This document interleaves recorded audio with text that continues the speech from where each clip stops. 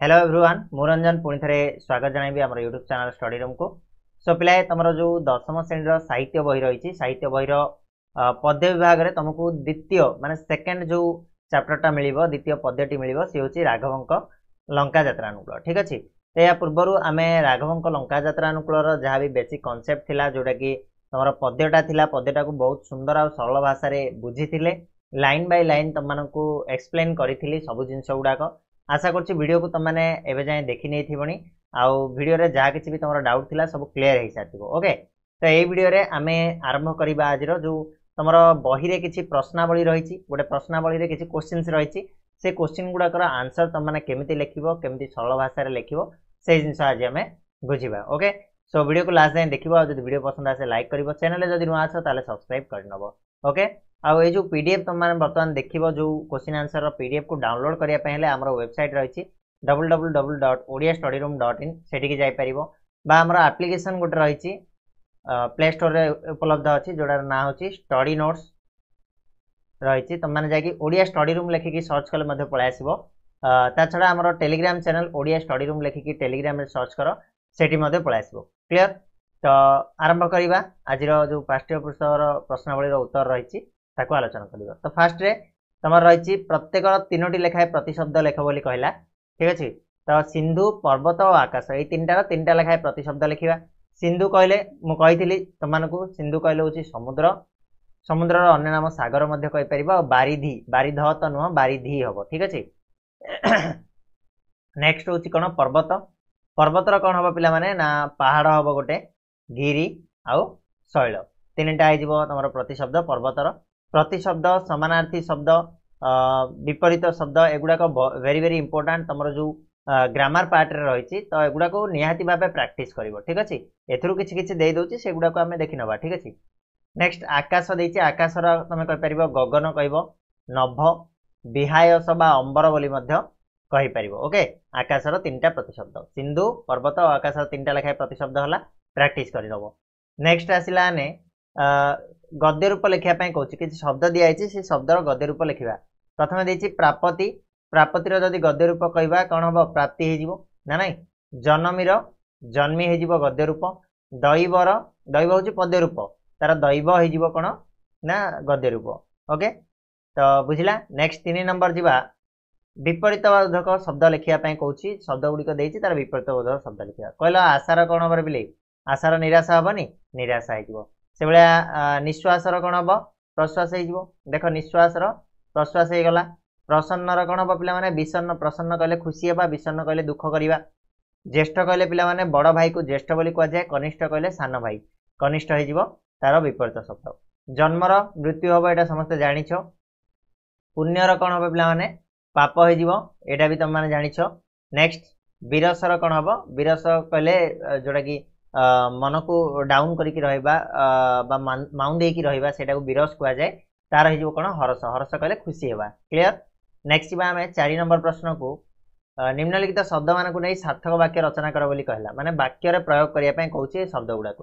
ପିତୃବ୍ୟ ପିତୃବ୍ୟ କହିଲେ କ'ଣ? ମୁଁ ପ୍ରଥମେ କହିଦେଉଛି ଯେଉଁ ଭାଇ ମାନେ ବାପାଙ୍କର ଭାଇକୁ ପିତୃବ୍ୟ ବୋଲି କୁହାଯାଏ ବାପାଙ୍କର ସାନ ଭାଇକୁ ପିତୃବ୍ୟ ବୋଲି କୁହାଯାଏ। ତ ଆମେ ତାକୁ ଲଗେଇ କହିପାରିବା ଗୋବିନ୍ଦ ଶରତ ବାବୁଙ୍କୁ ପିତୃବ୍ୟ ଜ୍ଞାନ କରୁଥିଲା। ମାନେ ଦଦା ବୋଲି ଭାବୁଥିଲା ଠିକ୍ ଅଛି? ସେଭଳିଆ ତମେ ଅନ୍ୟ କିଛି ବି ବାକ୍ୟ କରିପାରିବ ପିତୃବ୍ୟ ଲଗେଇକି। ବ୍ୟୋମ କହିଲେ ବ୍ୟୋମ କହିଲେ ହେଉଛି ପିଲାମାନେ ଆକାଶ ଠିକ୍ ଅଛି? ତ ପ୍ରଭାତ ହେଲେ ବ୍ୟୋମ ଦେଶ ଉଜ୍ଜଳ ଉଠେ ଉଜ୍ଜଳି ଉଠେ ବା କହିବା ପ୍ରଭାତରେ ବ୍ୟୋମଟା କ'ଣ ଦେଖାଯାଏ? ଉଜ୍ଜଳ ଦେଖାଯାଏ ଏମିତିକା ତମେ ଯାହା ବି କଲେ ହେବ ଚଳିବ କିଛି ନାହିଁ। ପ୍ରସନ୍ନ ଲଗେଇକି କହିବ ପ୍ରସନ୍ନ କହିଲେ ଖୁସି। ତ ଚିତ୍ତ ପ୍ରସନ୍ନ ରହିଲେ ଶରୀର ସୁସ୍ଥ ରହେ ମନଟା ଯଦି ଖୁସି ରହିବ ଶରୀର ସୁସ୍ଥ ରହେ କରିପାରିବ। ନେକ୍ସଟ କ'ଣ କହିଲା? ଅନୁଜ ଅନୁଜ ଲଗେଇକି ଗୋଟେ ବାକ୍ୟ କରିବାନି ରେ ଅନୁଜ କହିଲେ ଭାଇର ସାନ ଭାଇକୁ କୁହାଯାଏ ସରି ବାପାଙ୍କର ସାନ ଭାଇ ସରି ସରି ସାନ ଭାଇକୁ ଅନୁଜ ବୋଲି କୁହାଯାଏ। ତ ଏଠି କହିବା ଅନୁଜ ବିଭୀଷଣଙ୍କ ଉପରେ ରାବଣର କ୍ରୋଧ ଥିଲା ଅହେତୁକ ମାନେ ରାବଣର ଅନୁଜ କିଏ ଥିଲା? ବିଭୀଷଣ ଥିଲା ତେଣୁ ତା ତା ଉପରେ କ୍ରୋଧ ବହୁତ ଥିଲା ଅହେତୁକ କହିଲେ ଅଧିକ ଥିଲା। କ୍ଲିଅର ସତ୍ୱର ଲଗେଇକି କଲ ଶତ୍ରୁ ଲୁଚିଥିବା ଖବର ଜାଣିବା ମାତ୍ରେ ସେଠାରେ ସତ୍ୱର ପଳାୟନ କରିବା ତାଙ୍କର ଉଚିତ ଥିଲା। ସତ୍ୱର କହିଲେ ଖୁବ୍ ଶୀଘ୍ର ଜଲ୍ଦି। କ୍ଲିଅର ନେକ୍ସଟ ସନ୍ଧି ବିଚ୍ଛେଦ କରିବା ପାଇଁ ଦେଇଛି। ଏଗୁଡ଼ାକୁ ସବୁ ଆମେ ପଢ଼ିବା ବ୍ୟାକରଣ ବିଭାଗରେ। ତୁମମାନଙ୍କୁ ଡିଟେଲରେ ପଢ଼େଇବି ବ୍ୟସ୍ତ ହେବାର କିଛି ନାହିଁ। ଏବେ ଖାଲି ତୁମମାନେ ଟିକେ ଟିକେ ପ୍ରାକ୍ଟିସ୍ ପାଇଁ ଦେଖିନିଅ ଓକେ ତ କ'ଣ କହିଲା ନା ବଜ୍ରାଘାତ ବଜ୍ରାଘାତକୁ ଯଦି ସନ୍ଧି ବିଚ୍ଛେଦ କରିବା କ'ଣ ହେବ? ବଜ୍ର ଯୁକ୍ତ ଆଘାତ ବଜ୍ରାଘାତ।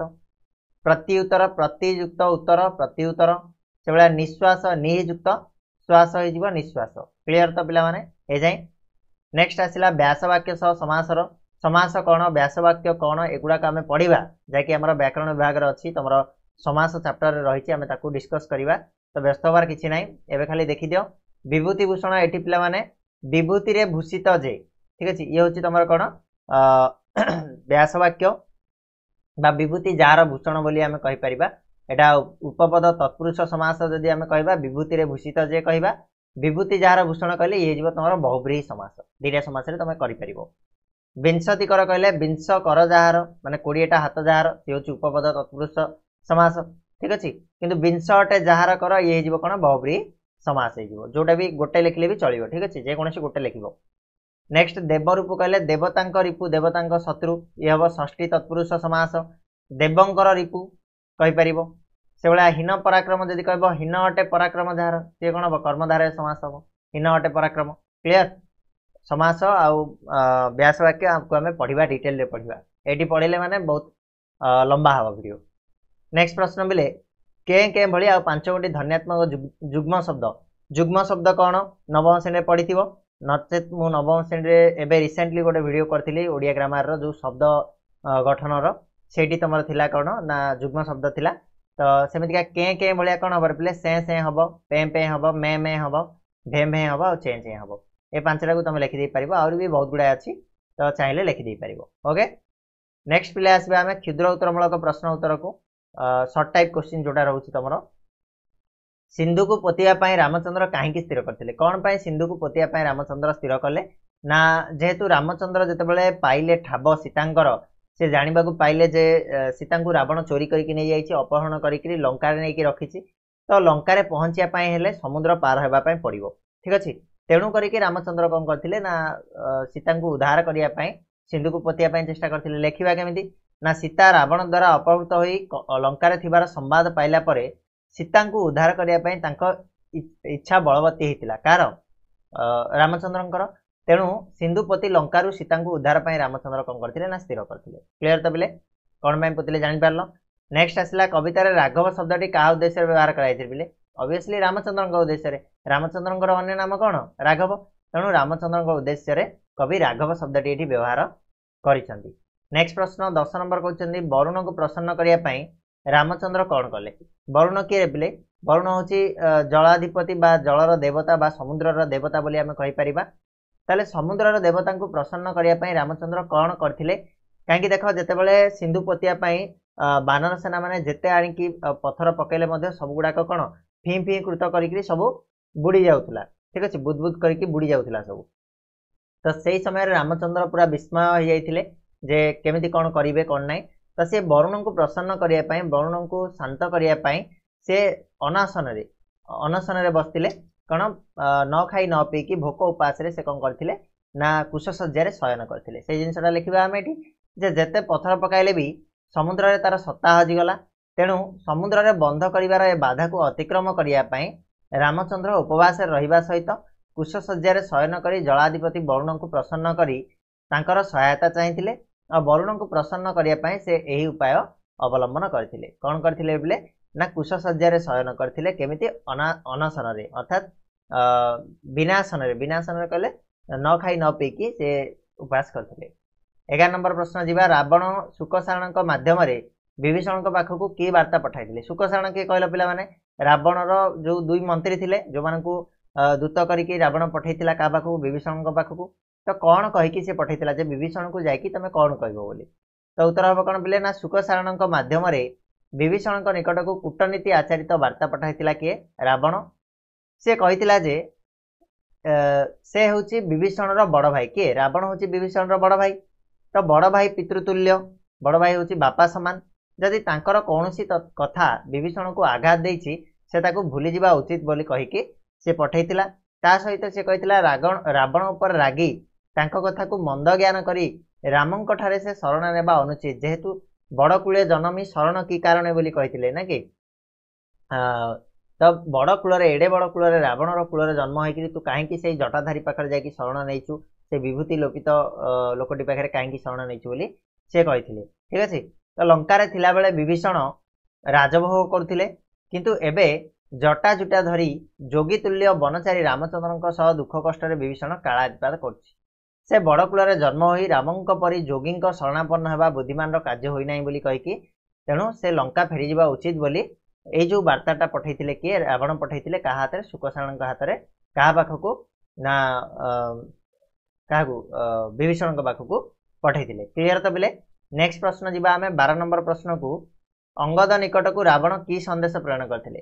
ସେଇ ଶୁକସାରଣଙ୍କ ହାତରେ ରାବଣ ଅଙ୍ଗଦ ଅଙ୍ଗଦ ପାଇଁ ମଧ୍ୟ ଗୋଟେ ସନ୍ଦେଶ ପଠେଇଥିଲେ। କ'ଣ ସେଇ ସନ୍ଦେଶ ଥିଲା ଆଉ ଅଙ୍ଗଦଙ୍କର ପ୍ରତିକ୍ରିୟା କ'ଣ ଥିଲା? ଦେଖ ରାମଙ୍କର ଲଙ୍କା ଯାତ୍ରା ଉଦ୍ୟମକୁ ବ୍ୟର୍ଥ କରିବାକୁ ଯାଇ ରାବଣ ତାର ଦୁଇ ଚାର ଦୁଇ ଚାର କହିଲେ କ'ଣ ପିଲେ? ଚର ଚର। ଚର କହିଲେ ହେଉଛି ଯେଉଁ ଦୂତ। ଶୁକ ଆଉ ସାରଣଙ୍କୁ ପଠାଇବା ପୂର୍ବରୁ ରାମଙ୍କ ଅନୁଗତଙ୍କ ମଧ୍ୟରେ ଭେଦ ସୃଷ୍ଟି କରାଇବା ପାଇଁ ଶୁକ ସାରଣଙ୍କୁ ପରାମର୍ଶ ଦେଇଛି। କ'ଣ ସେଇ ପରାମର୍ଶ ଥିଲା? ସେଇ ପରାମର୍ଶ ଥିଲା ଯେ ତୁ ଉଭୟଙ୍କ ପରାମର୍ଶ ଛଳରେ କହିଛି ଯେ ସେମାନେ ଯାଇ ଅଙ୍ଗଦଙ୍କୁ ମନେ ପକାଇ ଦିଅନ୍ତୁ ଯେ ରାମଚନ୍ଦ୍ର ହେଉଛି ତାର ପିତା ବାଳିର ହତ୍ୟାକାରୀ ନାଇଁ କି? ବାଦ ରଚାଇ ପିତୃବ୍ୟ ବାହୁଡ଼ା ସୈନ୍ୟ ବୋଲି କହିଥିଲା ନାଇଁ କି? ଯେ ଯିଏ ତାର ପିତାକୁ ବଧ କରିଛି ସେ ବ୍ୟକ୍ତିଠାରେ ଅନୁଗତ୍ୟ ପ୍ରକାଶ ଅଙ୍ଗଦର ଅନୁଚିତ ବୋଲି ମଧ୍ୟ କହିଥିଲା ଯେ ତୋ ବାପାକୁ ଯିଏ ମାରିଛି ତୁ ତାକୁ ତା ଶରଣରେ ଯାଇକି ରହିଛୁ ତେଣୁ କାହିଁକି ରହିଛୁ ସେଇଟା ଅନୁଚିତ ବୋଲି ଯାଇକି ଅଙ୍ଗଦକୁ ଟିକେ ମନେ ପକାଇ ଦେବା ପାଇଁ ସେ ଶୁକସାରଣଙ୍କୁ କହିଥିଲା। ଠିକ ଅଛି? ନେକ୍ସଟ ପ୍ରଶ୍ନ ଯିବା ଆମେ। ରାବଣର ବାର୍ତ୍ତା ନେଇ ଅଙ୍ଗଦ ନିକଟକୁ କିଏ ଆସିଥିଲା ଶୁକସାରଣ ଆସିଥିଲେ ଦୁଇ ଜଣ ଦୂତ ଯିଏକି ଶୁକ ଆଉ ସାରଣ ଏମାନେ ଥିଲେ କିଏ? ନା ରାବଣର ମନ୍ତ୍ରୀ ଥିଲେ? ଠିକ ଅଛି ମନ୍ତ୍ରୀ ଦ୍ୱୟ। ନେକ୍ସଟ ପ୍ରଶ୍ନ ରାବଣର ବାର୍ତ୍ତା ଶୁଣି ଅଙ୍ଗଦ କି ପ୍ରତିକ୍ରିୟା ପ୍ରକାଶ କରିଥିଲା? ରାବଣର କଥା ଯେତେବେଳେ ଶୁକସାରଣ କହିଛନ୍ତି ଅଙ୍ଗଦ କ'ଣ କରିଥିଲା ପିଲେ ପୁରା ଗୋଟେ ଜାବଡ଼ା ମାରିଥିଲା ଯେଉଁଟାକି ତାଙ୍କ ଦେହରେ ବାଜିନଥିଲା ଶୁକସାରଣଙ୍କ ଠାରେ। ଠିକ ଅଛି ଦେଖ ଶୁକସାରଣଙ୍କ ଠାରୁ ରାବଣର ବାର୍ତ୍ତା ଶୁଣି ଅଙ୍ଗଦ ଖୁବ୍ ରାଗି ଯାଇଛି ଆଉ ଏମାନଙ୍କ ଉଦ୍ଦେଶ୍ୟରେ ସେ ବିକୃତ ଚାପୁଡ଼ା ମାରିଛି ଗୋଟେ ଜୋରିଆ ଚାପୁଡ଼ା ମାରିଛି। ମାତ୍ର ଧର୍ମ ବଳରୁ ସେମାନେ ରକ୍ଷା ପାଇଗଲେ ବୋଲି ପ୍ରକାଶ କରିଛନ୍ତି। ସେମାନେ ରାବଣଙ୍କୁ ଯାଇ କହିଛନ୍ତି ଯେ ଏତେ ବଡ଼ ଗୋଟେ ଜୋର ଚାପୁଡ଼ା ମାରିଲା ଅଙ୍ଗଦ ଯେ ଯଦି ଆମକୁ ବାଜିଥାନ୍ତା ତାହେଲେ ଆମେ ତ ପୁରା ପାତାଳଗାମୀ ହେଇଯାଇଥାନ୍ତୁ। ଆମକୁ ଛାଡ଼ ମନ୍ଦର ପର୍ବତକୁ ବାଜିଥିଲେ ମଧ୍ୟ ସିଏ କ'ଣ ପାତାଳଗାମୀ ହେଇଯାଇଥାନ୍ତା। ତେଣୁ ଆମେ ରକ୍ଷା ପାଇଗଲୁ କ'ଣ? ଆମେ କି ଧର୍ମ କରିଥିଲୁ କେଜାଣି? ଆମେ ରକ୍ଷା ପାଇଗଲୁ। ନେକ୍ସଟ ପ୍ରଶ୍ନ ପିଲା ଆସିଲା ପନ୍ଦର ନମ୍ବର। ମନ୍ତ୍ରୀଦ୍ୱୟ ରାବଣ ନିକଟରେ କି ଉକ୍ତି ପ୍ରକାଶ କଲେ? କ'ଣ ଯାଇକି କହିଥିଲେ ମନ୍ତ୍ରୀଦ୍ୱୟ? ଯେତେବେଳେ ମନ୍ତ୍ରୀଦ୍ୱୟକୁ ରାବଣ ଦୂତ କରିକି ପଠେଇଥିଲା ସେମାନେ ଗଲେ। ଗଲା ପରେ ତାଙ୍କର ଯେଉଁ ବାର୍ତ୍ତା ଗୁଡ଼ାକ ରାବଣର ବାର୍ତ୍ତା ଗୁଡ଼ାକ କାହାକୁ କହିଲେ? ନା ବିଭୀଷଣଙ୍କୁ ଆଉ ଅଙ୍ଗଦଙ୍କୁ କହିଛନ୍ତି। ତାପରେ କ'ଣ ସବୁ ଘଟିଲା ସେଠି ଆସିକିରି? ଜିନିଷଟା ରାବଣକୁ କହିଲେ। କ'ଣ କହିଲେ ଦେଖ? ଶୁକସାରଣ ରାବଣ ନିକଟରେ ପହଞ୍ଚି ପ୍ରକାଶ କଲେ ଯେ ସେମାନଙ୍କ କଥା ଶୁଣି ପ୍ରଥମେ ବିଭୀଷଣ କହିଲା ରାବଣ ଆଗ ସୀତାଙ୍କୁ ଫେରାନ୍ତୁ। ତାପରେ ଯାହା ବିଚାର କରାଯିବ ମାତ୍ର ଅଙ୍ଗଦ କିଛି ନ ଶୁଣି ସେମାନଙ୍କ ଉଦ୍ଦେଶ୍ୟରେ ବଜ୍ରପାତ ସମ ଚାପୁଡ଼ା ମାରିଲା। କିନ୍ତୁ ଧର୍ମବଳରୁ ସେମାନେ ଅଙ୍ଗହାନିରୁ ବର୍ତ୍ତିଗଲେ। ଠିକ ଅଛି? ଅର୍ଥାତ୍ କ'ଣ? ଯେତେବେଳେ ଏମାନେ ଯାଇକି ବିଭୀଷଣଙ୍କୁ କହିଛନ୍ତି ଯେ ରାବଣର ଯେଉଁ ବାର୍ତ୍ତାଟା ଦେଇଛନ୍ତି ବିଭୀଷଣ କହିଲା କ'ଣ? ମୁଁ ଏବେ କିଛି ଶୁଣିବାର ନାହିଁ। ରାବଣ ଯଦି ସୀତାଙ୍କୁ ଛାଡ଼ିଦେବ ତାହେଲେ ମୁଁ ତାର କଥା କିଛି ଶୁଣିବି। କିନ୍ତୁ ଅଙ୍ଗଦ ତ କିଛି ଶୁଣିଆ ଶୁଣି ନାହିଁ। ଏମାନେ ଗଲେ ଏମାନଙ୍କୁ ଦେଖିଲା ମାତ୍ର ଗୋଟେ ଜାବଡ଼ା ମାରିଲା ଯେ ବଜ୍ରପାତ ଭଳିଆ ଜାବଡ଼ା ମାରିଲା ଯେଉଁଟା ଯଦି ବାଜିଥାନ୍ତା ତାଙ୍କ ଦେହରେ ତାଙ୍କର କ'ଣ ହାତ ଗୋଡ଼ କେଉଁଟା ହେଲେ ଗୋଟେ ଭାଙ୍ଗି ଯାଇଥାନ୍ତା। ଯଦି ଅଙ୍ଗଦଙ୍କ ଚାପୁଡ଼ା ସେମାନଙ୍କ ଠାରେ ବାଜିଥାନ୍ତା ତେବେ ଅନ୍ୟାୟସରେ ସେମାନେ ଧୂଳିସାତ ହେଇଥାନ୍ତେ ମାନେ ମାଟିରେ ମିଶି ଯାଇଥାନ୍ତେ। ତେବେ ତାହା ପାହାଡ଼ରେ ବାଜିଥାନ୍ତା ତାହା ରସାତଳଗାମୀ ହୋଇଥାନ୍ତା। ଯଦି ପାହାଡ଼ରେ ମଧ୍ୟ ବାଜିଥାନ୍ତା ସେ ପାହାଡ଼ ମଧ୍ୟ କ'ଣ ହେଇଥାନ୍ତା? ରସାତଳଗାମୀ କହିଲେ କ'ଣ ନା ପୁରା ମର୍ତ୍ତ୍ୟପୁର ମର୍ତ୍ତ୍ୟପୁରକୁ ଚାଲି ଯାଇଥାନ୍ତା ଠିକ ଅଛି? ସରି ପାତାଳପୁରକୁ ଚାଲି ଯାଇଥାନ୍ତା ନେକ୍ସଟ ପ୍ରଶ୍ନ। ଅଙ୍ଗଦଙ୍କ ସପ୍ତ ଚାପୁଡ଼ା ପାହାଡ଼ରେ ମନ୍ତ୍ରୀଙ୍କର କି ଅବସ୍ଥା ହୋଇଥାନ୍ତା? ଏବେ ମୁଁ କହିଲି ଯେ ଅଙ୍ଗଦଙ୍କ ସପ୍ତ ଚାପୁଡ଼ା ମାଡ଼ରେ ରାବଣର ମନ୍ତ୍ରୀ ଶୁକ ଆଉ ସାରଣ ଆତଙ୍କିତ ହୋଇ ଜୀବନ ନେଇ ପଳାୟନ କରିଛନ୍ତି। ଆଉ ଧର୍ମ ବଳରୁ ଅଙ୍ଗଦଙ୍କ ଚାପୁଡ଼ାରୁ ସେମାନେ ବର୍ତ୍ତିଗଲେ ବୋଲି ରାବଣ ଆଗରେ ଯାଇକରି ପ୍ରକାଶ କରିଛନ୍ତି। ସେମାନେ ଆଶଙ୍କା କରିଛନ୍ତି ଯେ ଯଦି ସେ ଚାପୁଡ଼ା ସେମାନଙ୍କ ଦେହରେ ବାଜିଥାନ୍ତା ତେବେ ନିଶ୍ଚିତ ତାଙ୍କର ଅଙ୍ଗହାନି ହୋଇଥାନ୍ତା। ହାତ ହଉ ଗୋଡ଼ ହଉ ମୁଣ୍ଡ ହଉ କେଉଁ ହେଲେ ଗୋଟେ ଛିଡ଼ି ଯାଇଥାନ୍ତା। ନଚେତ କ'ଣ ହେଇଥାନ୍ତା ନା ଅନ୍ୟାୟସରେ ସେମାନେ ଧୂଳିସାତ ମଧ୍ୟ ହେଇଥାନ୍ତେ। ମାନେ ମାଟିରେ ମିଶି ଯାଇଥାନ୍ତେ। ମାତ୍ର ବିଧାତାଙ୍କ କୃପାରୁ ସେମାନେ ଆଜି ରକ୍ଷା ପାଇଛନ୍ତି ଅଙ୍ଗଦର ସେ ଯେଉଁ ସପ୍ତ ଚାପୁଡ଼ାରୁ। କ୍ଲିଅର ପିଲାମାନେ? ନେକ୍ସଟ ଯିବା ଶ୍ରୀରାମଙ୍କ ସୈନ୍ୟ ସଂଖ୍ୟା କେତେ ବୋଲି ମନ୍ତ୍ରୀଦ୍ୱୟ କଳନା କରିଥିଲେ? ମନ୍ତ୍ରୀଦ୍ୱୟ ଯାଇଥିଲେ ଦେଖିକି ଆସିଛନ୍ତି ଶ୍ରୀରାମଙ୍କ ସୈନ୍ୟ ସଂଖ୍ୟା କେତେ ବୋଲି ସେମାନେ କହିଛନ୍ତି ନା କି? ରାମଙ୍କ ସୈନ୍ୟ ଅଗଣନ ବୋଲି ମନ୍ତ୍ରୀଦ୍ୱୟ କଳନା କରିଛନ୍ତି ହେଲା? ତାଙ୍କ କଳନ ଅନୁସାରେ ସଂଖ୍ୟାରେ ଯେତେ ଶଙ୍ଖ ଅଛି ବା ସାଗର ଗର୍ଭରେ ଜନ୍ମିତ ଯେତେ ଶଙ୍ଖ ନାହିଁ ତତ୍ୟଧିକ ସୈନ୍ୟବଳ ବା ସଂଖ୍ୟା ହେଉଛି ରାମଚନ୍ଦ୍ରଙ୍କର ସେନାନୀର। ସେମାନେ ଆସିକି କହିଲେ ଯେ କ'ଣ ସାଗର ଗର୍ଭରେ ଆଜି ଯାଏଁ ଯେତିକି ଶଙ୍ଖ ଜନ୍ମି ନାହାନ୍ତି ମାନେ ତାହାଠୁ ଅଧିକ ସୈନ୍ୟ ଅଛନ୍ତି। ଆଉ ସଂଖ୍ୟାରେ ଗଣି ଗଣି ନେଲେ ଯେତିକି ଶଙ୍ଖ ଅଛି ତାଠୁ ଅଧିକ ସୈନ୍ୟ ଅଛନ୍ତି ରାମଚନ୍ଦ୍ରଙ୍କର। କ୍ଲିୟର ତ ପିଲେ? ନେକ୍ସଟ ଅଠର ନମ୍ବର ପ୍ରଶ୍ନ ଆସିଲା ସମୁଦ୍ର ତରିବା ନିମନ୍ତେ ରାଘବ କ'ଣ ପାଞ୍ଚିଥିଲେ? ସମୁଦ୍ରକୁ ପାରିବା ପାଇଁ ରାଘବ କ'ଣ ପାଞ୍ଚିଥିଲେ? ବା କ'ଣ ଉପାୟ ପାଞ୍ଚିଥିଲେ? ସୀତାଙ୍କୁ ଲଙ୍କାରୁ ଉଦ୍ଧାର ପାଇଁ ସମୁଦ୍ର ପାର ହେବା ରାମ ପକ୍ଷେ ନିତାନ୍ତ ପ୍ରୟୋଜନ। ତେଣୁ ସମୁଦ୍ର ପାର ହେବା ପାଇଁ ସେ ସମୁଦ୍ରରେ ପଥର ବନ୍ଧ ବାନ୍ଧିବା ପାଇଁ ଉପାୟ ପାଞ୍ଚିଥିଲେ। ଠିକ ଅଛି? ପଥର ବନ୍ଧ ବାନ୍ଧିକିରି ଆମେ ଯିବା ବୋଲି ସିଏ ପାଞ୍ଚିଥିଲେ ଠିକ ଅଛି ନା ପିଲାମାନେ? ଇଏ ଥିଲା ତମର ସର୍ଟ ଟାଇପ୍ କୋଶ୍ଚିନ୍ ଯେଉଁ ଅଠର ନମ୍ବର କୋଶ୍ଚିନ୍ ପର୍ଯ୍ୟନ୍ତ ଥିଲା। ଆଶା କରୁଛି ଭିଡ଼ିଓରେ ସମ୍ପୂର୍ଣ୍ଣ ଯେଉଁ ବୁଝେଇ ପାରିଥିବି ଜିନିଷ ଗୁଡ଼ାକୁ। ଆଉ ଏଇଭଳିଆ ହିଁ ଲେଖିବ ଏତିକି ହିଁ ଲେଖିଲେ ହିଁ ହେବ। ଯେ ତମମାନଙ୍କର ତ ବିଟ୍ କୋଶ୍ଚିନ୍ ଏଇଭଳିଆ ଆସୁନି ତମମାନେ ଖାଲି ଜାଣିବା କଥା ଏଇ ଜିନିଷ ଗୁଡ଼ିକୁ ଠିକ ଅଛି? ତମର ତ ଆସୁଛି ଚାରିଟା କ'ଣ ଅପସନ୍ ଥିବ ଆସୁଛି। ତାକୁ ମଧ୍ୟ ଆମେ ପ୍ରାକ୍ଟିସ୍ କରିବା ଆଗକୁ ଯାଇକି କୋଶ୍ଚିନ୍ ଗୁଡ଼ା ପ୍ରାକ୍ଟିସ୍ କରିବା। ତାପରେ ନେକ୍ସଟ ଭିଡ଼ିଓରେ ଆମେ ଆଲୋଚନା କରିବା ତମର ଯେଉଁ ସରଳାର୍ଥ ରହିଛି ସରଳାର୍ଥକୁ ଡିସ୍କସ୍ କରିବା। ତ ଆଶା କରୁଛି ଭିଡ଼ିଓଟି ଭଲ ଲାଗିଥିବ ପସନ୍ଦ ଆସିଥିବ ଯଦି ପସନ୍ଦ ଆସିଛି ତାହେଲେ ଭିଡ଼ିଓକୁ ଲାଇକ୍ କରିବ ସେୟାର କରିବ ଚ୍ୟାନେଲରେ ନୂଆ ଥିଲେ ସବସ୍କ୍ରାଇବ୍ କରିବ। ଆଉ ଆମର ଟେଲିଗ୍ରାମ ଚ୍ୟାନେଲକୁ ଜଏନ୍ ହେବାକୁ ଭୁଲିବନି କାହିଁକିନା ସେଇଠି ସବୁ ଇମ୍ପୋର୍ଟାଣ୍ଟ ଅପଡେଟ୍ ଗୁଡ଼ାକ ତୁମମାନଙ୍କୁ ମିଳିବ। ଭିଡ଼ିଓ ହଉ କିମ୍ବା ଯେକୌଣସି ନୋଟିଫିକେସନ୍ ହଉ କିମ୍ବା ପି ଡି ଏଫ୍ ଫାଇଲ୍ ଗୁଡ଼ାକ ହଉ ସବୁ ଗୁଡ଼ାକ ମିଳିଯିବ ଓକେ ତ ଯାଅ ଯାଇକି ଜଏନ୍ ହେବ ଓଡ଼ିଆ ଷ୍ଟଡି ରୁମ୍ ସର୍ଚ୍ଚ କରିକି ଟେଲିଗ୍ରାମ ଚ୍ୟାନେଲରେ ଲିଙ୍କ୍ ମଧ୍ୟ ଡେସ୍କ୍ରିପ୍ସନ୍ରେ ଅଛି ଜଏନ୍ ହେଇପାରିବ ଓକେ ରହିବା ଧନ୍ୟବାଦ